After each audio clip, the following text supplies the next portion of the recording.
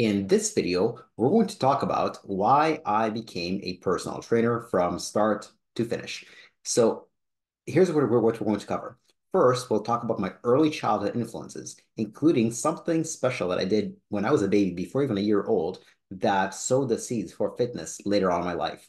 We're also going to talk about my teenage influences in terms of what happened in my teenage years that caused me to gain a great interest in fitness and personal training. And finally, the make or break decision that I had to make in grade 12 that completely went against what my parents wanted me to do and what the decision was. So stick around at the end when I'll tell you what that decision is. So before we jump in, who am I? My name is Igor. I'm the author of 13 books on exercise and nutrition, including four Amazon bestsellers. As well, I've been a personal trainer since 2006 and trained other personal trainers in my methodology since 2013 by speaking at various different personal training conferences. I've also done over 400 wellness presentations to some of Canada's largest corporations, including IBM, Bosch, American Express, University of Toronto, Investors Group, and others. If you want to learn when I publish more, uh, more videos on exercise and nutrition, click like and subscribe to my YouTube channel. So let's start in my early life. When I was a baby, I was living in the, I was born in the Soviet Union at the time. And before I was even a year old, my dad would make me hang off a chin-up bar to develop grip strength and upper body strength. You can imagine that I was hanging off a chin-up bar before I was even walking. Um, and I couldn't hang for very long and I was very scared. He tells me that I was hanging and crying. Um, my mom wasn't too happy, but uh, that's how he developed upper body strength. And his hands were underneath me, ready, ready to catch, but I didn't quite understand that as a baby.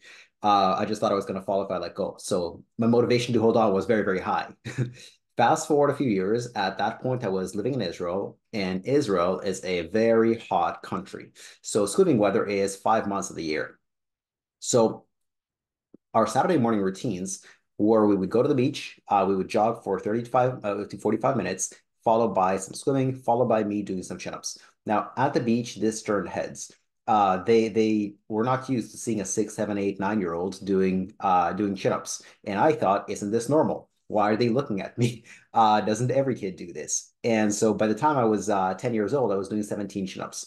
Um, fast forward a few years and in high school i was already doing martial arts for four years but i didn't start competing until 2002 i was training at that time with a uh, with a martial arts club called the academy of integrated martial arts and competitions are what ignited my interest in fitness in athletic performance enhancement and so on.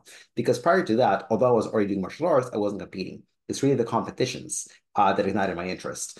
Now I don't have a great body for martial arts, not not striking anyways. I am short and muscular. In martial arts, especially in striking, you need to be tall and lanky. So I wanted to figure out how do you get above average results with below average genetics? And that's when I started to really research um, how to do that. I started to figure out how to improve my speed, my flexibility, my endurance. And while my friends were out partying, I was in front of my computer researching all these things, and I found it absolutely fascinating. And yet, at that point, I still didn't think of fitness as a career. I thought it was just a hobby, just something to, to think about. Fast forward to my last year of high school in grade 12.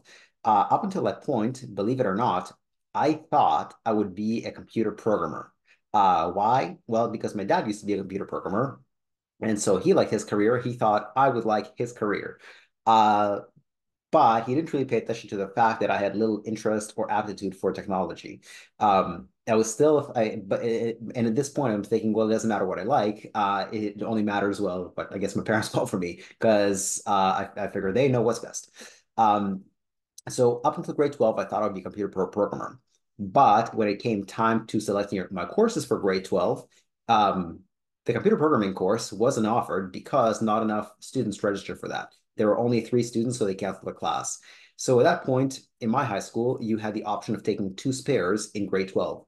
If you don't know what a spare is, it's a class where you do nothing. You don't have a teacher. You, you can do whatever you want. You can go to the library. You can go home. You can go out to lunch. You can work on extra homework. So you could do nothing. Or my school did offer an exercise science class. So I thought, what if I took this class? So I did ended up taking the exercise science class instead of a spare. Loved it very, very much. And then fast forward to grade 12, and it came time to university applications. Uh, that's when you make your selection for which school do you want to go to.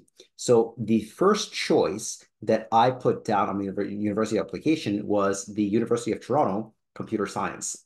That's really my parents' first choice. The second choice that I put down on my university application was York University Computer Science. That's my parents' second choice. The third choice that I put down on my university application was York University Kinesiology and Health Science. That's my real first choice. Now, I got into all three programs, but the one that I selected to go into was York University Kinesiology.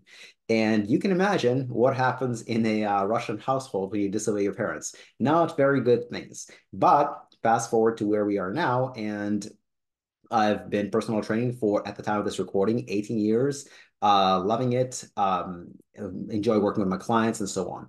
If you enjoy this video, thank you so much. Click like and subscribe. And if you have any comments, put them below. Thank you and goodbye.